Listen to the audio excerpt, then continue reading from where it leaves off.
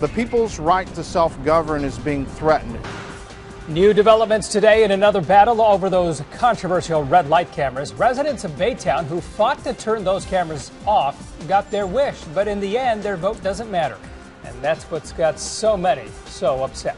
Welcome to Live at 5, everyone. I'm Art Rascon. And I'm Melanie Lawson. Last November, residents of Baytown voted to remove red light cameras from intersections all across their city. Sound familiar? Oh, yes, it does. And while ultimately the cameras did get turned off, their vote on the issue is being tossed out. It's part, part of a settlement between the city and the red light camera company. Eyewitness News reporter Katie McCall live in Baytown with this story. I'm sure there are some outraged folks there plenty of people mad about this one, Art and Melanie. Good evening to you. The company that operated these red light cameras called ATS agreed to shut them off for a million dollars from Baytown's taxpayers. But part of the deal threw out an anti camera ordinance, and that has a lot of people seeing red.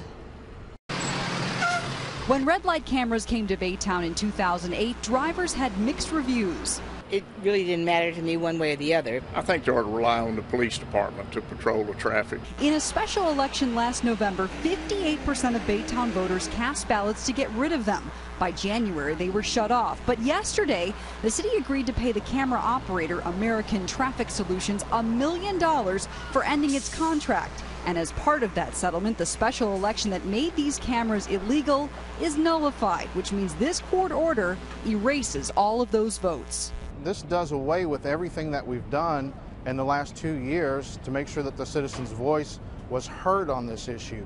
Byron Schirmbeck led the petition for the ordinance. He's angry that future city councils could bring back the cameras and that the camera company has won more than just the citizens' tax dollars. This also goes to the benefit of the camera company who does not want the people to vote on this issue because every time this issue has come up for a vote, they lose.